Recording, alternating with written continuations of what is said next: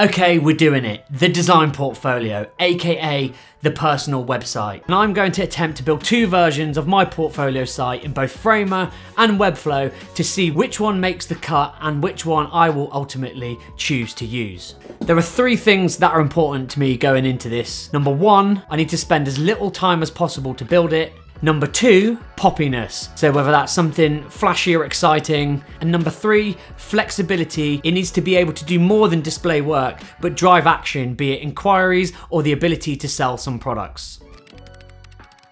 So for this challenge, I'm gonna create two different versions of the landing page. We are gonna have a green version, which we're gonna build in Framer, and an orange version that we are gonna build in Webflow. And I spent a bit of time working on the Figma file, getting it all ready for auto layout, so then we can then use each of the respective plugins to copy and paste into both of the website builders. So let's jump into Framer and start building the first version.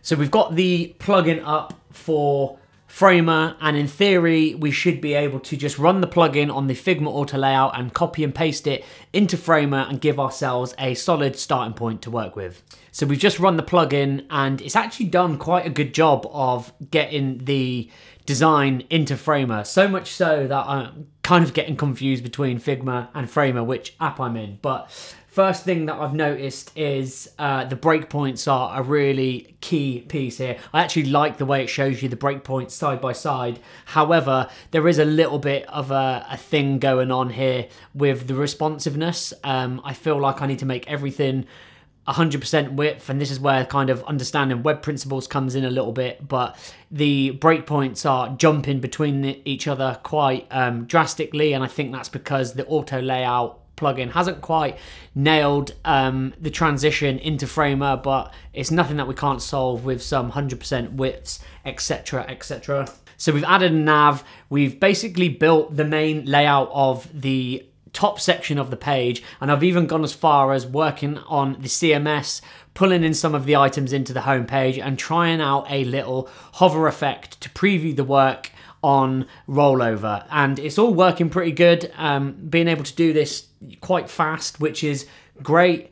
The other thing that's kind of cool is if you press this little play button right here apparently this is the preview of the actual site and really what the actual site would look like I imagine if we press publish. If we go into full screen mode here you can see that this is now feeling and looking responsive so I think this has done a pretty good job.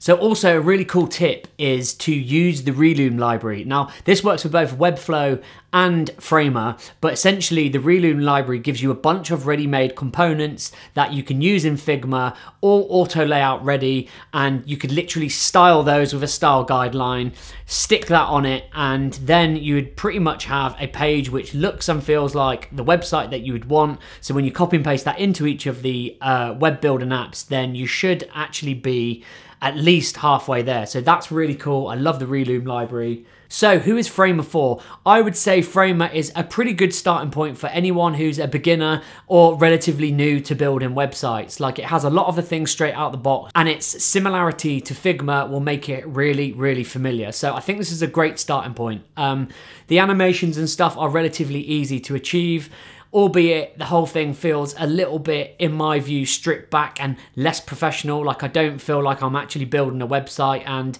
to the point where I actually think it's only a matter of time before Figma just swallow this in and you can actually just press play on a Figma file and then you'll end up with a website. Overall, I think it's a great option for a beginner, but it does feel like it lacks some of the functionality that I would want, certainly in the kind of product sections and anything to do with e-commerce, although there are obviously ways that we could do that through kind of hyperlinks to Stripe products, etc. So other features, when it comes to the CMS, yes, there is a CMS, there is ability to have multiple pages and this works relatively well and as expected.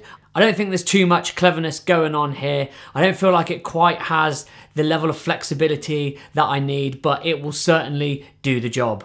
What I do really like about Framer is the ability to see multiple breakpoints next to each other. It's good to see how this thing will respond and that kind of overview part of Figma which you get within Framer is something that I do really think is cool. So I'm going to try and take the header section from Figma and see what it feels like to go straight into Webflow from Figma. So we are literally jumped into Figma here and we are copying the component using the Figma to Webflow plugin and we are literally just going to paste it straight in here and see how it uh, performs. So it looks like it's done a pretty good job. Um, just a little bit of tidying up on the padding and the margin and yeah, this is this is this is pretty good. I'm just going to clean up the styles here and then check the mobile responsiveness out and give that a little bit of a clean up. So now we can go ahead and publish this and then we can check it out on the phone. And yeah, as you can see, um, so yeah, just needs a little bit of work and it's all good. To use Webflow, you really need to understand some of the basic foundational principles of web design, such as Flexbox and Grid. But that being said, if you've been working more recently in Figma, the concepts of stacks, auto layout, and Flexbox do translate quite well into Webflow. And yes, there is a steeper learning curve, and you probably won't go from first exposure to Webflow to a finished portfolio site in a few hours, like with Framer. But what it does do is give you some other fantastic, flexible options. That being said, Webflow is, I would say, for an intermediate and up. So one of the things that I love to do when I'm designing is use some of the tools that are available out there to get a fast track. And one particular resource I like in general is a guy called Timothy Ricks. He has this framework called Lumos, which is both a Figma file and a style guide in Webflow. And you can literally download that thing and apply your fonts to the style guide and it will update everything, literally both in the Figma file, but also you can then take that into Webflow. And in theory, like with Framer, you should be able to do that in Figma and then use the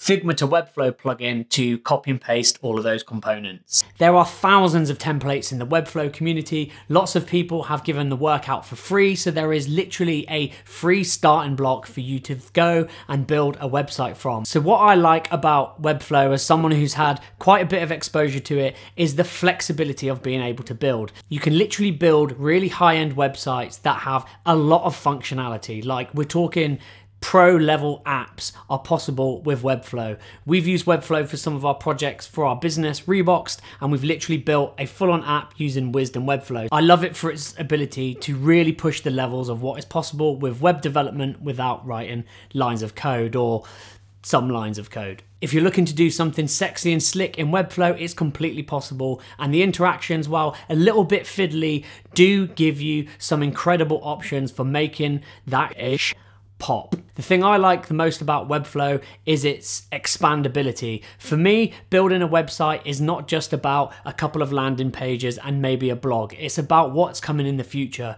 So if I want to start building things like courses or paid memberships or paid communities, all of those things can be done with Webflow. And I think as a designer in the modern era, having that flexibility to productize yourself on a platform like Webflow makes it the number one choice for me and why I'll be using it for my website.